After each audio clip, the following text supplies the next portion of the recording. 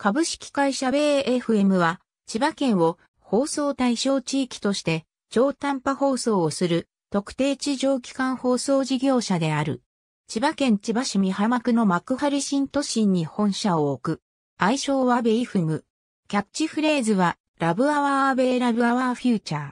サウンドステッカーとしては、キャッチフレーズの前半部分の Love Our Bay のほか、 Beat of the Bay も用いられる。コールサインは、ジョグフ FM。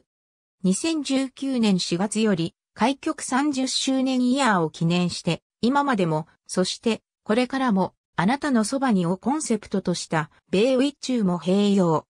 日本プロサッカーリーグチームジェフユナイテッド市原、千葉のスポンサーで、鎌田健と坂井道夫が、スタジアム DJ を務める。千葉商科大学サービス創造学部の公式サポーターである。聴取率調査機関をベイフムはパワーウィークと称する。愛から始まるストーリーに続くブランニューホットラインが終了後、定期試験としてサンバ調の音楽を左右チャンネルやモノラールなど切り替えながら約3分間流した後、無音とテスト等に続き、4時57分頃にバズーカ山寺の音声で放送開始クレジットの周波数告知ジングルが流れる。その後、パワープレイと CM を挟んで月曜朝の番組となる。企業、団体の名称、個人の肩書きは当時のもの。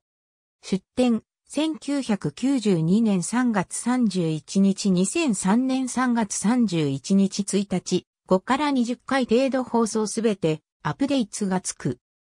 ヘビーローテーション恒例の特別番組スタジオマリブ12月23日開設、U、カリスタジオスカイゲート、ノアパームテラスタワーストリートスタジオスタジオ、K ウエスト、柏高島やステーションモール S 間8階流山、大高の森ショッピングセンター3階順ネブーススタジオ、イクスピアリスカイゲート元アナウンサー時報は、TBS ラジオや TBS テレビが使用したものと同じものを使用しており、生時の2秒前からカウントされる2点時報で、ピ、ピ、ポーンである。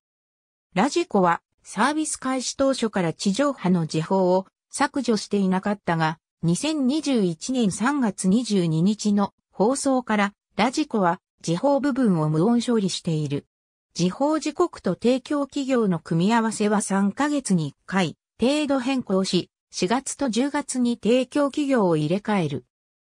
月金曜日共通土曜日日曜日全曜日、共通全日の5時、平日の午前中の一部時間、21時、22時の時報と土曜日の一部時間はスポンサーがなく、ベイフムの汎用ジングルを15秒流すか、ヤママンプレゼンツミュージックサラダフロムユー、カリスタジオのスポット番宣、または、ベイフムが関わるイベントライブ情報を告知するベイフム公式サイトの案内に続き、情報アナウンサー土井ゆいきの音声でお聞きのラジオは bayfm です。時をお知らせしますとアナウンスして時報になる。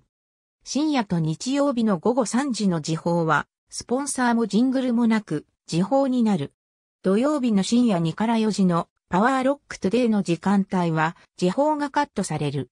年末引く年始の年越しは、DJ のカウントダウンに続いて3秒前から時報する。平日土曜日広報資料、プレスリリースなど一時資料試験放送。ありがとうございます。